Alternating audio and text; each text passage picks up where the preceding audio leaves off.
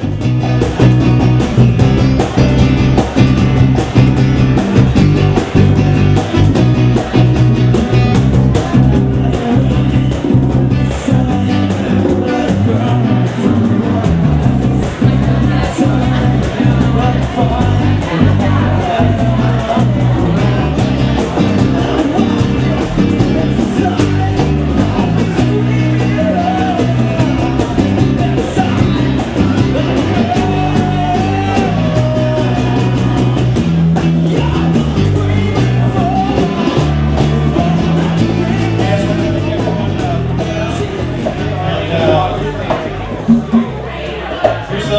those